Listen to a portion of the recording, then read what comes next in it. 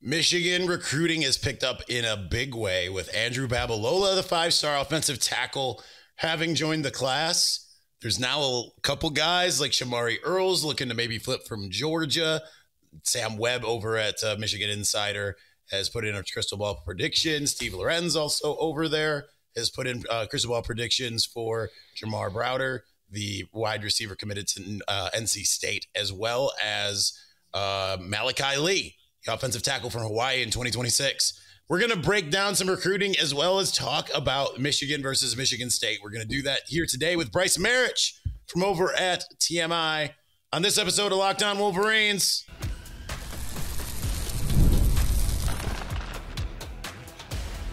You are Locked On Wolverines, your daily podcast on the Michigan Wolverines, part of the Locked On Podcast Network. Your team every day. Happy Friday. We are back and doing it. Locked On Wolverines podcast, part of the Locked On Podcast Network, where it's your team every day. I'm your man on the ground, Isaiah Hole, publisher of Wolverines Wire through USA Today Sports Media Group. This laryngitis fest for me continues. Therefore, we are going back to the well. And for the first time, I think, ever on this show. We're bringing on Brice Marich, my ex colleague, well, still colleague, but ex co worker at 24 7 Sports. He and I hang out. Uh, I probably hang out with Brice more on the sideline than anyone else. So, Brice, excited to have you on, man. Appreciate it, man. I yeah, this first I'm a first timer, so uh, appreciate being on the show. Well, it's first time and it's also the last, so that's exciting for everybody. Uh, Works for me.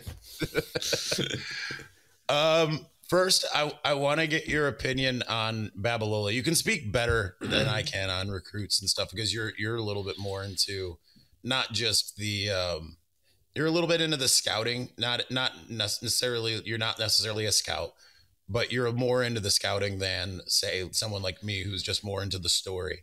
So, how big is it for Michigan to have been able to close on a guy like Babalola who had basically an opportunity to go to anywhere in the country? I, you know, we talked about this on our podcast, but I think the biggest thing for Michigan was the perception. Um, Michigan right now has kind of lost a couple games. They're out of college football contention. There's not a lot going in their direction for Moore, but he's trying to build this first class up, and he needs a headliner. He needs that crown jewel, and that's what Babalo is. He's the number 11 overall uh, player, 24 7 sports. 6'6, 285. He's a monster. And what's unique about him is he's only played two years of football. Like, this is a guy you watch, you're like, he is just scratching the surface of his potential. Like, the amount of upside is insane. I, you know, I think too, a lot of credit has to go with uh, Sherrone Moore, head coach, Grant Newsome, the offensive line coach, and Sam Popper, uh, the director of recruiting. All three of them were they played pivotal roles in kind of securing him because at one point he was looking at Stanford, um, and he's a huge, huge high academic kid, and a lot of people thought they might be leading. And then Auburn was in the mix, and they had made a big push with NIL, and Michigan kind of was always in the picture, but they were never presumed as the leader until I, I would say coming out of that official visit in the summertime, he came up uh, and fun note or fun fact about him, he was actually born in the state of Michigan, Bloomfield Hills. So he's got you know he's got roots here, but you know this is not a guy. Obviously, he he lives in Kansas now. Um, but his family, you know, he still has family in the area, and they are Michigan fans, and they really like the program on off the field and what they have to offer.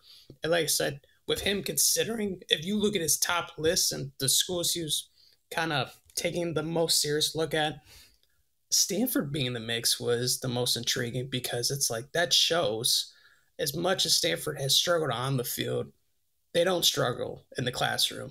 And for him to be high academics like that, that's a big thing. And the other thing with him is when you think of five stars and now this new era of college football recruiting, the biggest thing that people say is NIL. How much is it going to take to secure this pledge? How much is it going to take to get him to campus? And for him, that was never the case. You know, he was never looking at it eh, from a money perspective, from a money decision. That's just not the type of family he comes from. That's just not the type of kid he is. So I think he was a perfect fit for Michigan on and off the field. Looking at his game, though, and what Michigan's getting, they're getting a generational talent. I think he's got first round potential written all over him. Like I said, 6'6, 285. You put on 20, even, you know, 20, 25 pounds. You know, I don't think right away he's going to start. You know, I know a lot of people see that five star status and they're just expecting him, the future left tackle, um, start next year. But I think for him, being so new to the game, he's got to develop tendencies, technique. He's got to sharpen up, you know, his craft. And once he puts on more of that weight, I think then he'll start figuring it out and be able to dominate even more. So I see him in this first year when he gets to Michigan as being that extra offensive lineman. Michigan has always used guys like Trente Jones, um, and different guys. I think Gentry this year has done that role pretty often. I think he would excel in that role pretty good. So, elite, elite talent. He has a basketball uh, background. He played AAU with Andrew Sprague. Um, and they always joke back and forth about who's a better basketball player, who's not. And at one point, he thought he was going to play basketball. And then finally, his basketball coach and others were like, hey, Andrew, I think you should check out the football field. And I think that was a wise decision. But overall, I think it's a great win for the class great win for the program. And most importantly, it was a great perception win because Michigan just needed this in the most badly way. Well, let's stay on 2025 uh, and, and, before we move to 2026 next segment. Uh, but there's a number of guys Michigan is either well, let's stay let's stay with the idea of who, who could Michigan bring in, and then if we, I guess we're probably gonna have to go into segment two with uh, some of that. But uh, what, when you look at some of those uncommitted guys or guys who are committed elsewhere, I mentioned Browder, I mentioned um, Shamari Earls, who suddenly uh, has gotten all this uh, hype and attention in the last 24 hours, a little bit longer on your site, uh, but now it just kind of the world knows. Uh, and then you've got other guys looming out there like Nathaniel Owusu, Boateng. Um, there's a couple defensive tackles that they're trying to flip where do you see kind of this class finishing out in terms of like who do you think can be added to the class? Well, I know if people have been kind of following our site, we've been now known as the favorite uh, site for fireworks. Uh, we have Uncle Sam over there, is now what I'm coining him because there's a lot of momentum on the trail from Michigan. As much as it doesn't seem like it is, there is. And Michigan has done a lot of work behind the scenes with guys. Shamar Earls, you just mentioned. This is a guy that Michigan got up on during the summertime. They were in great position. And then all of a sudden, Georgia kind of really got in the mix, picked things up, and he decided to take his talents to Athens. Michigan just didn't take, you know, their iron out the fire. Like that was a type of recruitment that they are going to stand regardless, no matter what they see him as like a CB1, you know, and they pitched to him when he first was getting recruited as Will Johnson's replacement. Like they look at him that highly. They think he's that regarded. And he, it makes sense. He's highly coveted. He's a top 100 prospect, 6'2, 205. We have to update his weight, but he can fly. He's got great hips. He's fluid. He's got great ball skills. There's a lot to like about him. And so I think Michigan and Lamar Morgan have done a great job of keeping those relationships strong, showing him he's a need. And I think the funny thing about this whole season is as much as pain as painful it is to see a team that's four and three and struggling in so many areas, it can be a blessing but a curse, you know, because guys are gonna see the opportunity in the field. You know, like this is a type of team that they're gonna have to replenish this roster you know, I think that you're going to have to see in the portal, but also in this recruiting class. And he's going to have the opportunity to come in and step in those shoes left by Will Johnson and maybe other spots. So he's a type of guy that that opportunity to play, to excel, and be on the big stage is very enticing, very appealing. And I, I just love where Michigan stands. He's going to be coming up on a trip, a return trip this weekend and if everything goes well, which I think it will, I think there's I think he's gonna be in this class.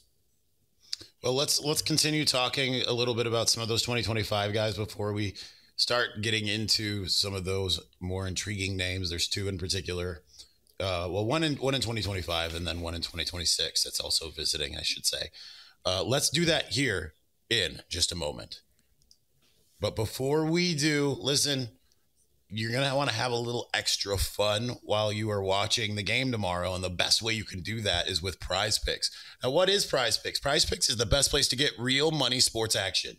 With over 10 million members and billions of dollars in awarded winnings, prize picks has made daily fantasy sports accessible to all. You just pick more or less on just two players for a shot to win up to 100 times your cash. Run your game all season long on prize picks. Prize Picks is the best place to get real money sports action, join over 10 million users and sign up today. Prize Picks invented the Flex Play, Flex Play rather, which means you can still cash out if your lineup is not perfect. You can double your money even if one of your picks doesn't hit. Prize Picks Prize Picks puts its members first, so all the withdrawals are fast, safe, and secure. When my picks hit, I can get my money in as quick as 15 minutes. Sign up today and get $50 instantly when you play $5. You don't even need to win to receive the $50 bonus. It's guaranteed. PrizePicks also offers weekly promotions that can lead to big payouts like Taco Tuesday. Each Tuesday, PrizePicks discounts select player projections up to 25% to provide even more value to your lineups. So download the app today. Use the code Locked On College to get fifty dollars instantly after you play your first five dollar lineup. Download Prize Picks the app today. Use the code Locked On College and you can get fifty dollars instantly with your first five dollar lineup. Prize Picks daily fantasy made easy. All right, we're going to continue on here in just a moment, but before we do, uh, a lot of you have noticed. A lot of you ask, where do I get some of my cool Michigan gear? I'm wearing. If you're watching on video right now, I am wearing my Michigan undefeated hoodie. It's the most comfortable hoodie I own. Super stylish, super cool. With college football season being well underway, you're going to need to get some of that awesome gear uh, to have. And the best place you can do it is over at Home Field. They've got the best Michigan apparel in the game. Home Field is a premium collegiate apparel company based in Indianapolis, and there's no place I'd rather get my Michigan gear from. With their retro modern style, Home Field scours every school's history to find these absolutely amazing designs that you're going to absolutely love, and you're also going to really stand out. They just released these new, uh, what are they, like coaches' jerseys that are super cool. You're going to want to get your eyes on it. There's a bomber jacket I'm really hoping they bring back for the holidays. But they've got a couple other really cool bomber jackets still, other than the national championship one I covet. So go to homefieldapparel.com and use my code GOBLUE24 to get 15% off of your first order. That's homefieldapparel.com, promo code GOBLUE24 to get 15% off of your first order. Homefield Apparel, just the coolest college gear anywhere. All right, continuing on with Brice Marich.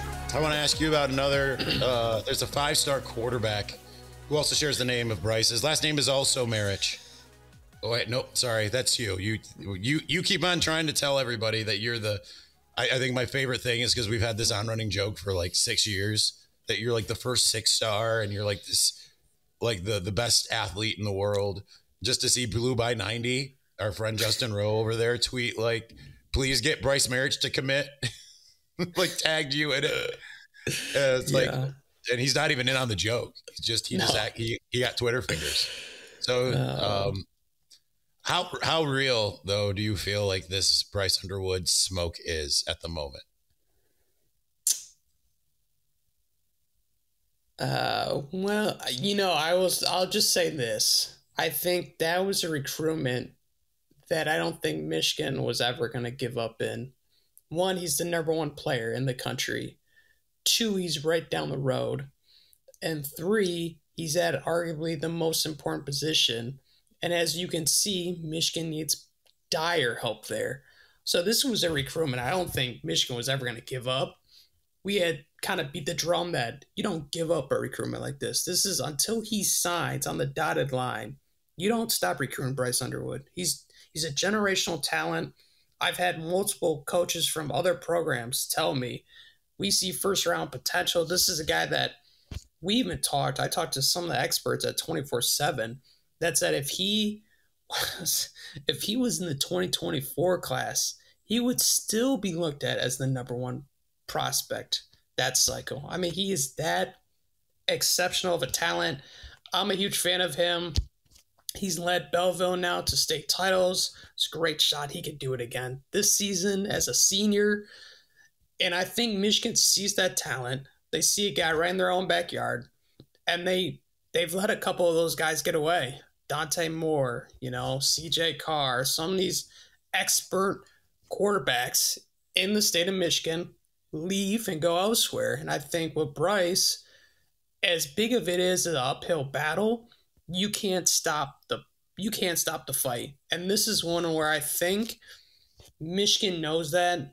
They see it's a position of need and they're attacking it. Obviously, you have a quarterback committed in the class and Carter Smith.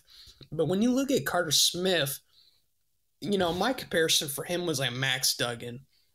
But and that's a great quarterback. And I know a lot of, you know, Michigan fans might be like, oh frick, Max Duggan. Like we, we don't want to hear that name again, right? We had experienced that in the the freaking playoffs a couple years ago. But Max Duggan was a very quality quarterback, you know, in college. And I think he can get to that level. The problem is Max didn't become Max Duggan right away. And with Carter, he's more of a dev- developmental prospect. I think he can get there. But again, with how the quarterback class or room looks right now, you need a guy to step in day one and kind of lift the floor of that room. And I'm not saying he won it, but I'm also not saying it's a guarantee he's going to do exactly that. So with Bryce, I know for a fact Michigan is still working there. We'll see what happens. I'm not going to get into super, super details, but I know Michigan is still definitely trying in that recruitment. And that's a guy, obviously, they would love to land. So, biggest thing to look out for, in my opinion, is seeing if he visits. You know, if he comes up to Michigan, any games, any, you know, anything like that, I think that's very telling because one, he hasn't been down to LSU for various reasons. I'm not going to look too deep in that. I know some are, but I'm not. But if he publicly goes out and visits Michigan, he knows what that's going to bring. That's going to bring questions. That's going to bring a bunch of things he's going to have to address and I think he's been very smart because if he is seriously considering Michigan, he knows if I step foot on campus and I go to one of those games, people are going to take photos. People are going to see me. People are then are going to hit me up. And if he's not seriously considering Michigan, I don't think he's going to make a trip. So that's the biggest thing is does he make it to campus for one of these games? And that's something I think Michigan fans should look out for. It's a little far though. It's it's to to to get in the, the car and go ten miles. It's just it's too much. I mean, there's a lot of construction on 94. I don't know if yeah, you saw exactly. it. So just, yeah, you know. I mean, I guess you take back roads, but as someone who used to live in Belleville, I can tell you it's an arduous journey. Um, Hundred percent. Uh, all right, we, are running out of time, so I am not going to touch on any more 2025 guys, but there is a 2026 guy who is visiting this weekend that I am curious about, and that's Savion Hiter. What, what do you what do you see from him, and where where do you think Michigan stands in his recruitment? Yeah, I mean, this is a you know a guy that I he's a five star in the composite. Um, he's a dynamic running back. Michigan has excelled in the running game, and one of the bright spots I would say this year alone has been the running game. And seeing guy like Kalel Mullings and others step up in that facet of the offense. So that's been very helpful. But I think the biggest thing in that recruitment has been Tony Alford. You know, Tony Alford offered him, the running back coach here, when he was at Ohio State. He carried over that relationship to Ann Arbor and since then has gotten him up to campus a couple times and now he's returning this weekend. That's a huge positive. That's another step in the right direction. And as many, you know, he's got Georgia, he's got all the big timers after him. I think Michigan's right there. I, I would say he, you know, he's kind of narrowed it somewhat down. But if I had to pick today, I think they're at the near the top that leaderboard, maybe like top three ish, and that's kind of where I'd position Michigan right now for him.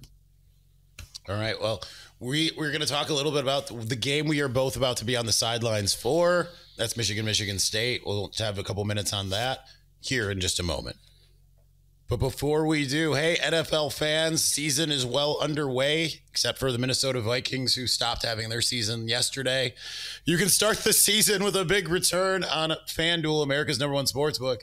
So when you go to hunch in the middle of a game, you can check out the latest stats, view the live play by play, and so much more on the same page where you place your bets. You can start with $200 in bonus bets guaranteed when you place your first $5 bet. That's fanduel.com, America's number one sports book. All right, Brice, we got a couple minutes left. Um, you haven't seen the last couple games in person. You've watched them on TV. I've unfortunately seen the last two games in person. I wish I was watching on TV because I could have changed the channel. I could have gone back to watching episodes of Suits. That's what I'm binging right now. But um, there's rumors that Michigan's going to maybe make another quarterback change. Um, it, it, sounds like maybe Davis Warren ends up getting the call instead of Jack Tuttle. But what when you go into a game like this, Michigan with its back against the wall, just what do you want to see? You know, what what do you feel like? Because you you've seen the first five games of the season, and it's been very hit or miss. But what what do you feel like you feasibly could see that could lead to a win tomorrow? I think the biggest thing I want to see from Michigan is a concrete plan you know, I think sometimes going into some of these games, they've had, you know, the scripted drives and they kind of have an idea of what they want to do, but then maybe they get down or maybe things happen and they've changed quarterbacks. They've shuffled different positions, putting, changing the centers out. Now they've changed out the right tackle. So I think the biggest thing for me personally, first off, is just having a concrete lineup and like, this is our guy and this is how we want to utilize them throughout the game. Second, I really want to see adjustments. You know, I think sometimes throughout these first or these several weeks, we've seen Michigan kind of not make as many as we're accustomed to in the past several years. You know, that's Michigan's bread and butter was at halftime, they'd go in the locker room, make those adjustments, come out and blow away the opponents. And it seems like this year they go in the locker room and the team just happens to fall off for whatever reason it is. So if they make those adjustments, because you know this is going to be state Super Bowl. This is where they want to come in. It's Jonathan, Jonathan Smith's first season, and if he the icing on the cake is if he could come in the big house, get that win over his in-state rival, and kind of plant that flag and say, "Hey, we're the premier number one program in state." after everything Michigan just went through, winning a national title, that's demoralizing. So, biggest thing, make the adjustments, stick with a lineup, and execute it. You know, I think sometimes we, you, me, especially on the field, we see the plays there. You just got to make the plays, right? Mm-hmm. It's like even sometimes the coaches call a perfect play, the route's there, and the quarterbacks miss it for whatever reason. Or a guy misses a block and you know, Donovan Edwards doesn't, he only takes it two yards instead of maybe 70, right? So those three things. And then I think the biggest thing in the game is you got to contain Aidan Chiles, you know, keep those rush, those rush lanes sound.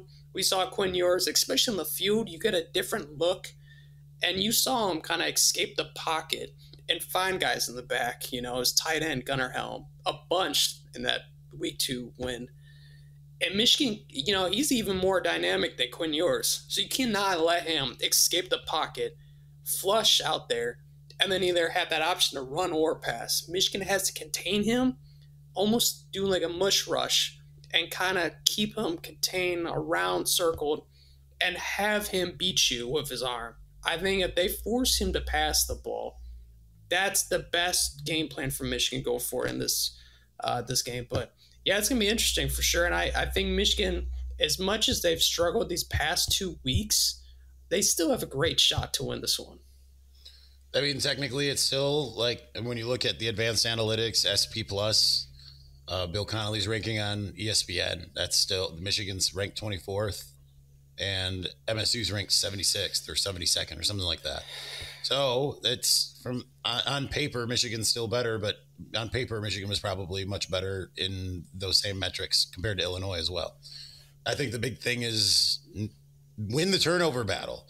Michigan can get through this game not turning the ball over, which hasn't happened yet in a game this year, which is unbelievable to me. I think Michigan wins. Problem is, I, I have yet to see Michigan not turn the ball over in a game multiple times. Michigan very well could be, weirdly enough, undefeated if they didn't turn the ball over. You're just not going to win games against good teams and or teams with a pulse when you turn the ball over three times, um, which is what they just kind of do.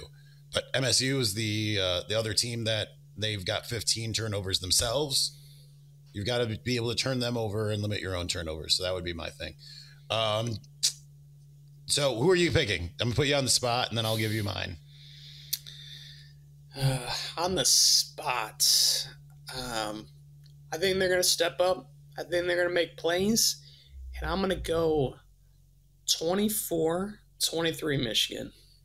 Wow.